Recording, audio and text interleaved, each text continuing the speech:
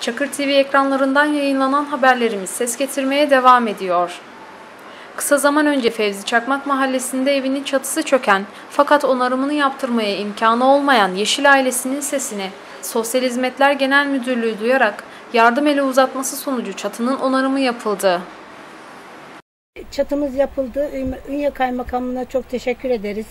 İnşallah bundan sonra rahat yatacağız ıslanma, ıslanmadan. Allah razı olsunlar herkesten. Çok teşekkür ederiz. Reis Çakmak Mahallesi Arınbaşı sakinlerinden Cemal Yeşil. Mağdurluğumuzdan dolayı herkese teşekkür ediyorum. Bana bu binaya e, çatıyı onaranlardan, buna vesile olanlara herkese teşekkür ediyorum. Ünye Belediyesi'ne, Ünye Kaymakamı'na ve arkadaşımız Yaşar Bey'e de çok çok teşekkür ediyorum. Hepsinden Allah razı olsun.